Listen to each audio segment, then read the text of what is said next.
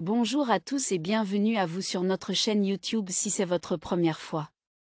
Pensez à cliquer sur j'aime et à vous abonner à la chaîne pour soutenir notre travail et ne manquer aucune nouvelle vidéo.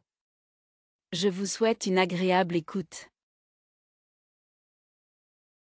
Les frais d'intermédiaire, comprenant les honoraires d'agence et autres commissions, peuvent influencer significativement la rentabilité de votre investissement immobilier. En effet, ces coûts supplémentaires augmentent le montant total de votre investissement initial. Si ces frais sont élevés, ils peuvent amoindrir voire annuler vos gains potentiels, notamment si vous prévoyez de revendre rapidement.